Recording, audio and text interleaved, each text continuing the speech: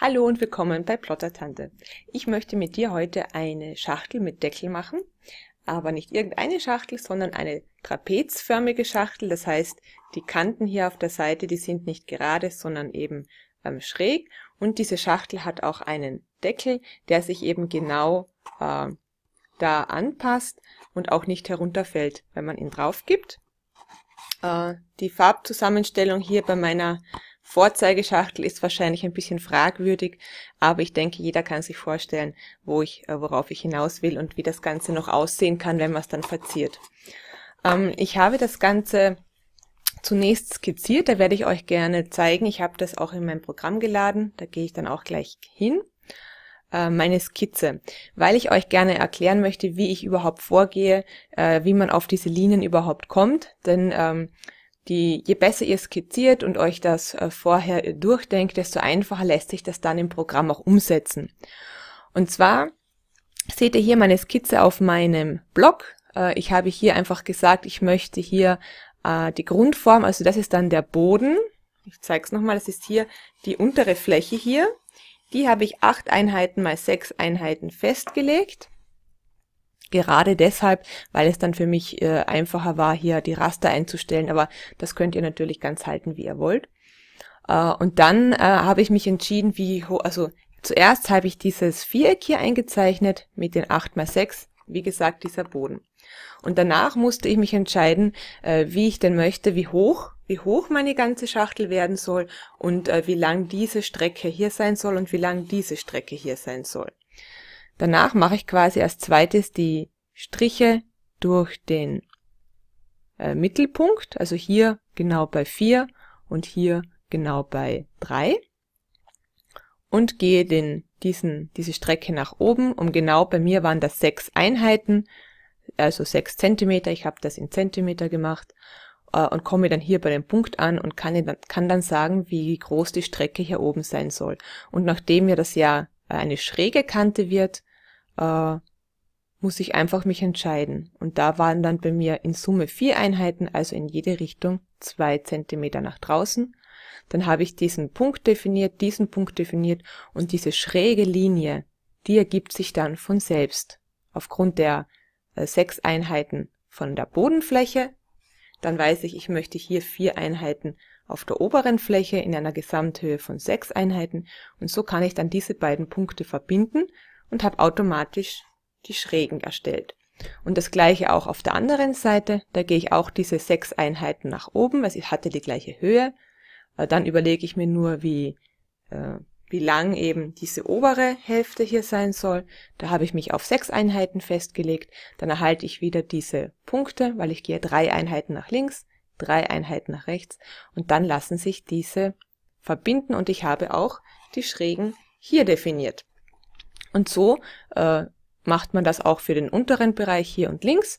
Und damit wir das Ganze auch zusammenkleben können, brauchen wir die Laschen. Und die habe ich hier nur grob eingezeichnet, weil äh, ich eigentlich nur wissen muss, wo sie sich befinden. Ich habe mich dafür entschieden, dass ich hier jeweils eine Lasche anbringe und hier. Das kann man natürlich auch anders machen, wie man das zusammenklebt.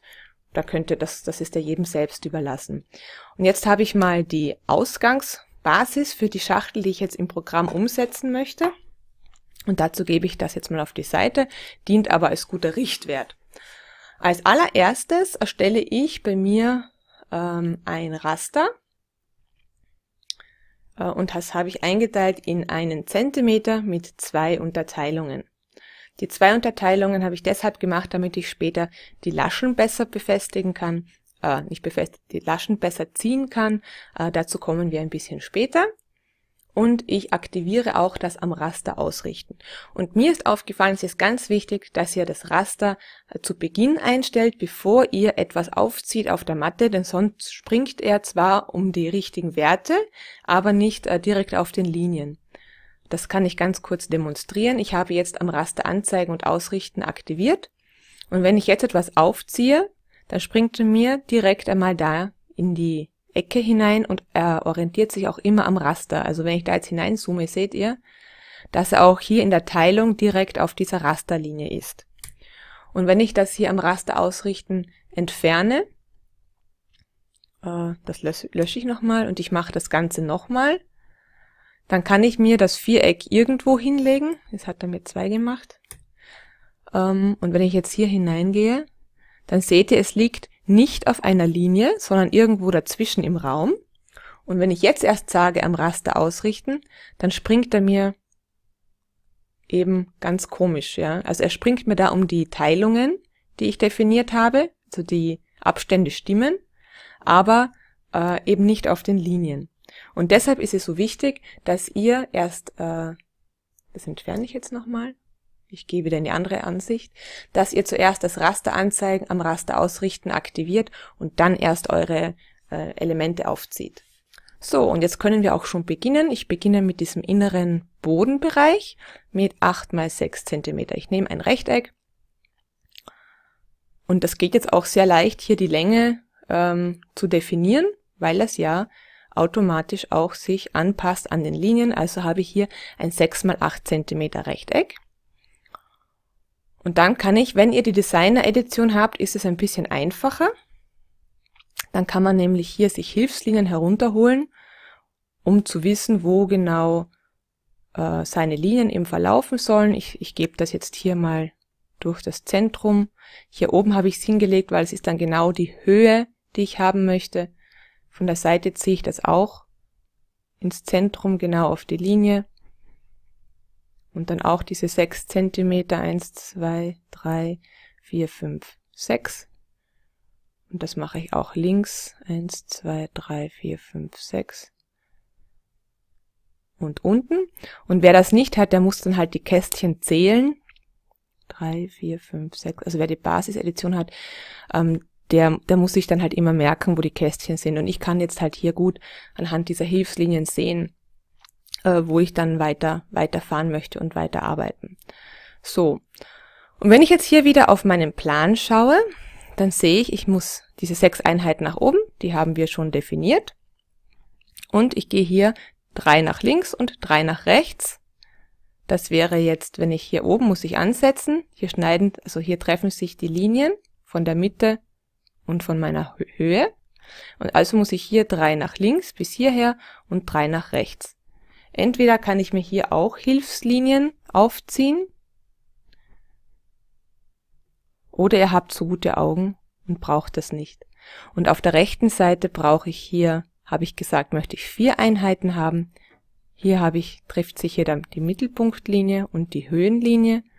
Und dann kann ich mir quasi von oben zwei Zentimeter nach links und zwei nach rechts oder nach oben, nach unten wie ich dann eben die Schachtel aufziehen werde, definieren, ist dann hier auf der anderen Seite auch gleich zu sehen.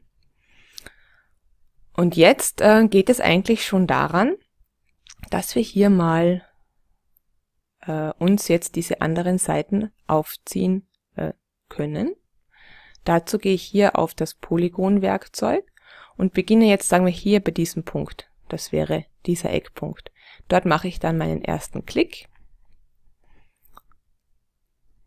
Und nachdem das am Raster Ausrichten aktiviert ist, ist das auch praktisch, weil man muss nicht ganz genau treffen und er geht direkt auf die richtige Stelle. Solltet ihr mal daneben klicken, kann man das ja auch später noch in der Punktebearbeitung korrigieren. Das ist überhaupt kein Problem. So. Das heißt, ich habe gesagt, hier diese Schnittpunkte, die habe ich mir ja schon zurechtgerichtet und nachdem am Raster Ausrichten aktiviert ist, kann ich auch ganz schnell hier äh, dem entlangfahren. Hier äh, die Laschen ignorieren wir noch für den Moment, sondern wir gehen jetzt nur mal entlang, wie unser trapezförmige Schachtel jetzt mal ohne Lasche aussehen soll. Und wie ihr seht, das ist wirklich ganz einfach aufzuziehen. Und jetzt hätten wir das schon mal fertig. Das wäre jetzt die Grundform. Ich gebe dem Ganzen eine Farbe. Dann kann man das, naja, das ist vielleicht eine so, dann sehe ich die Linien auch noch gut. Und äh, was uns noch fehlt, sind jetzt diese Laschen hier. Und äh, nachdem ich möchte, dass dieses äh, Element hier aber eine Form bleibt, dass ich es auch theoretisch mit Muster oder Farbe füllen kann, äh, möchte ich die Laschen so anbringen, dass sie sich hier eben äh, verbinden mit dieser Form. Und da gibt es jetzt bestimmt unterschiedliche Herangehensweisen. Meine ist die folgende. Ich mache jetzt hier mal einfach eine Linie von hier nach da. die ich dann springen lasse um zwei Einheiten. Dann kopiere ich mir das Ganze nach rechts, also ich spiegle mir das rechts. Und nachdem das so immer so schön in, den, in diesen ähm, Abständen hüpft, wie ich es eingestellt habe, geht das auch ganz schnell und einfach. Und nachdem wir das auch noch nach unten brauchen, spiegel ich das Ganze auch nach unten und mit den Pfeiltasten positioniere ich es auch mal daher. Und äh, jetzt habt ihr zwei Möglichkeiten. Entweder, das ist die kompliziertere Möglichkeit, die Punktebearbeitung. Ihr gebt neue Punkte hinein, die ihr dann ähm, anpasst. Aber wie ihr seht, ich mag das nicht so gern. Ich lösche den Punkt nochmal. Oder ihr macht einfach das ganze Spiel mit diesem Polygon noch einmal. Aber ihr habt gesehen, hier äh, es springt nicht auf diese Linien, wo wir die Laschen setzen wollen, weil hier äh, wir Punkte setzen, die äh, nicht auf den Linien sind, außer wir nehmen ein, wirklich Punkte, die, die genau auf den Linien drauf sind äh, und, und äh, ignorieren, dass vielleicht die Laschen jetzt nicht so symmetrisch sind. Ja.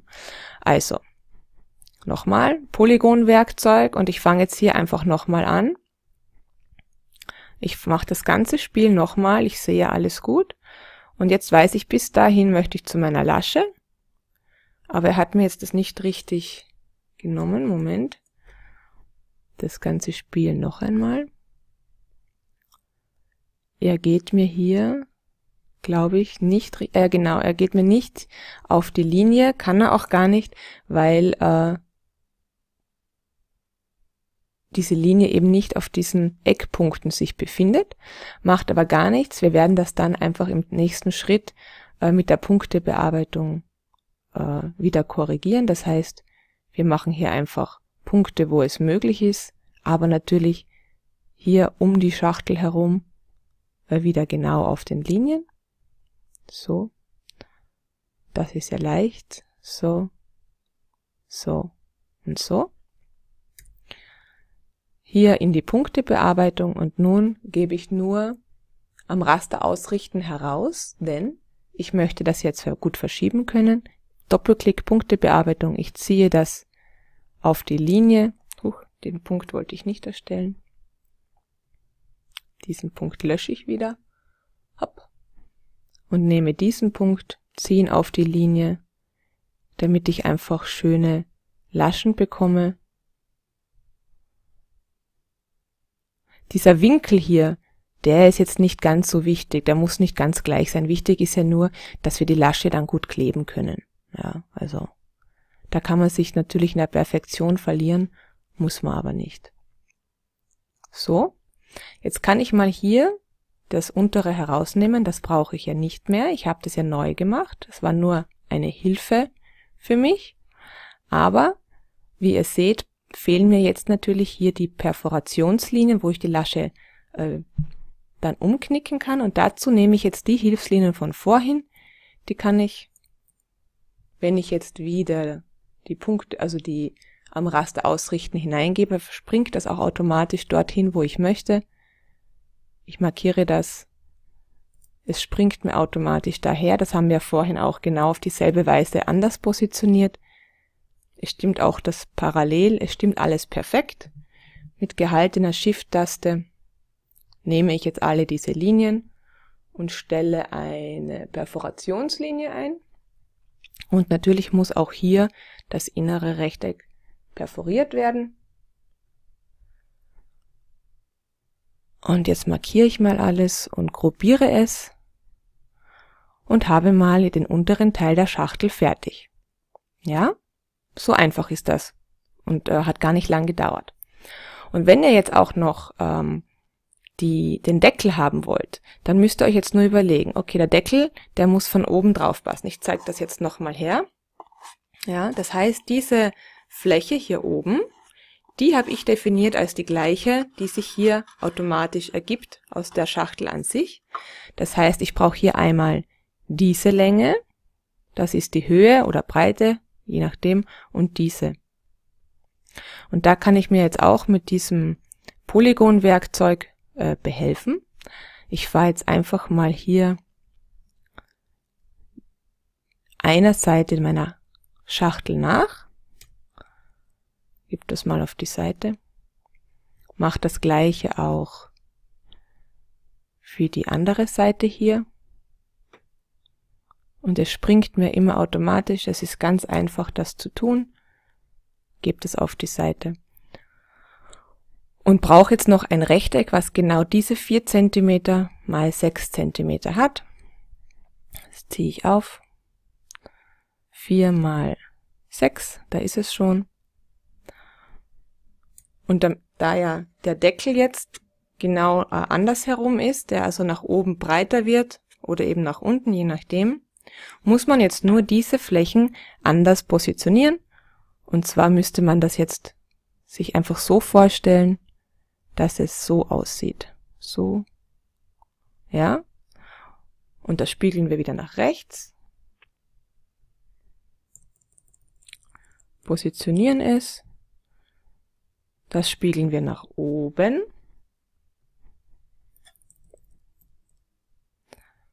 Und haben jetzt schon mal eine Schachtel fertig, die jetzt ähm, aber die ganze, die ganze Höhe abdecken würde. Das wollen wir ja nicht.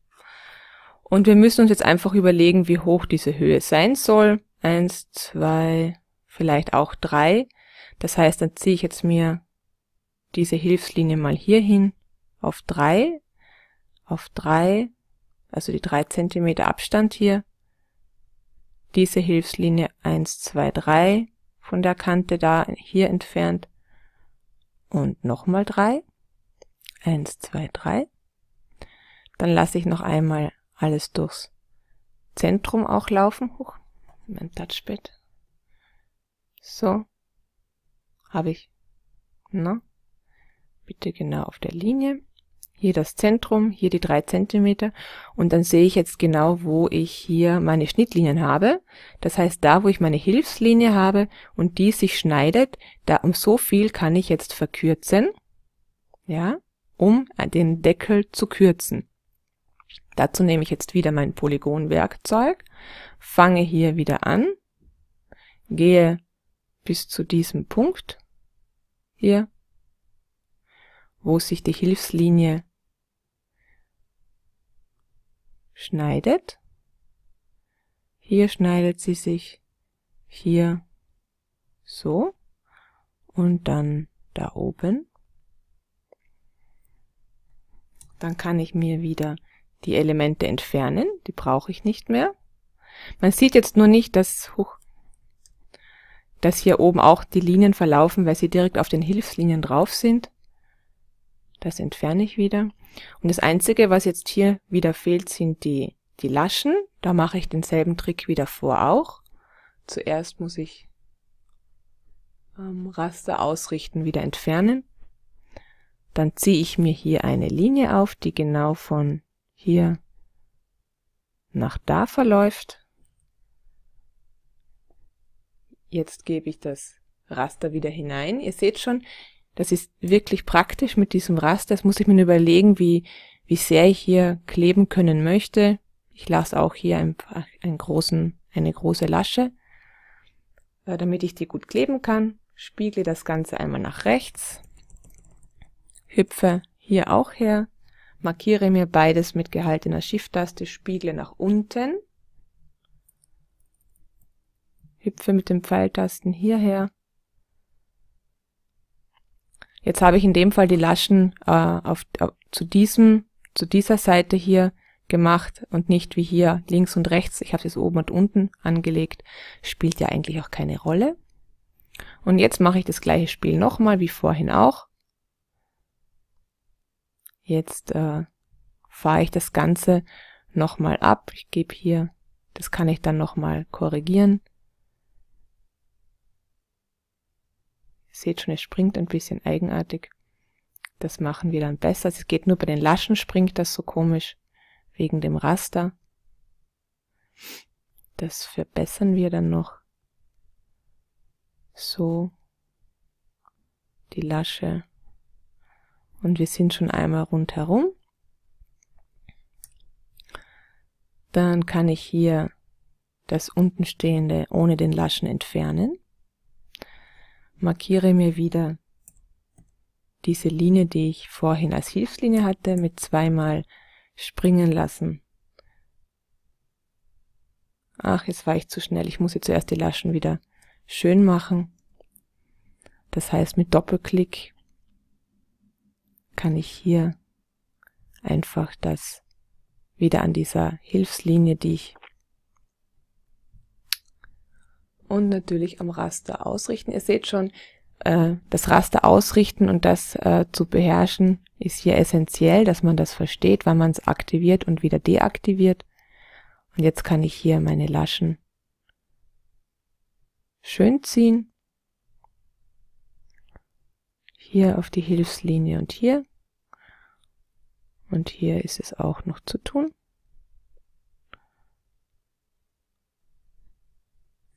So. Und wenn ich das jetzt gemacht habe, gebe ich jetzt am Raster ausrichten wieder hinein und jetzt werde ich diese, diese Linien wieder zurückbringen, damit ich auch gleich schöne Perforationslinien habe. Hopp, hopp. Nach links. Und markiere diese jetzt. Und auch gleich das innere Viereck und gebe den der Linie einen anderen Stil. Und ihr seht schon hier, die Laschen sind vielleicht nicht die schönsten, wie gesagt, daran kann man feilen, aber die dienen ja nur dazu, dass man sie kleben kann. Und mir persönlich ist das jetzt im Moment nicht so wichtig, sondern ich wollte euch zeigen, wie man hier ganz schnell äh, hier eine, eine Schachtel designen kann. Und jetzt werde ich kurz auf Pause äh, schalten, mir das in meinen Plotter geben und mir diese zwei äh, Elemente auch genauso schneiden lassen, damit ich euch auch noch zeigen kann. Ich melde mich sofort zurück. So, ich habe das Ganze jetzt geschnitten und so sehen jetzt die zwei Stücke aus, nachdem ich sie geschnitten habe. Man sieht hier gut die Perforationslinien, die Laschen. Und ich werde jetzt diese Schachtel schnell knicken und äh, zusammenkleben und euch dann nochmal zeigen und bin auch dann gleich wieder da. So, und jetzt habe ich auch meine Teile zusammengeklebt. Das hier ist der untere Teil der Schachtel und oben offen. Das hier ist der Deckel. Und wenn wir jetzt alles richtig konstruiert haben, dann passt der auch genau drauf. Was er auch tut. Und er fällt auch nicht herunter, weil er sich ja schön über diese Kanten drüber schieben äh, lässt. Ja? Also auf diese Art und Weise mache ich jetzt eben solche Schachteln. Ich hoffe, ich konnte euch einigermaßen ähm, zeigen, äh, wie man das auf dem Blatt zuerst konstruiert, dass man sehr schnell definieren kann, eben wie diese Seitenkanten auszusehen haben. Wie gesagt, nochmal zur Wiederholung, zuerst zeichne ich mir die Grundfläche auf, ähm, ein mache Striche auf meinem Blatt durch die, durch die Mitte, durch den Mittelpunkt, entscheide mich dann für die Höhe und ausgehend von diesem äh, Mittelpunkt, der die Höhe definiert, äh, sage ich dann, wie lang eben diese obere äh, Strecken sein sollen und verbinde dann diese Seitenkanten, die sich dann automatisch ergeben. Und dann füge ich noch die Laschen dazu. Also ich hoffe, ich konnte euch ein bisschen Einblick geben, wie ich das mache. Äh, es gibt da bestimmt ganz viele unterschiedliche Herangehensweisen. Das war jetzt meine ganz persönliche. Kann sein, dass ich auch viele äh, ein bisschen verwirrt habe. Das tut mir dann leid. Ihr könnt gerne in meine Facebook-Gruppe Plottertante kommen äh, und Fragen stellen. Ich habe auch eine Webseite plottertante.de. Da findet ihr ganz viel Informationen zum Plotten selbst. Und ja, ich würde mich freuen, den einen oder anderen begrüßen zu dürfen. Ganz viele, viele liebe Grüße und bis zum nächsten Mal. Tschüss.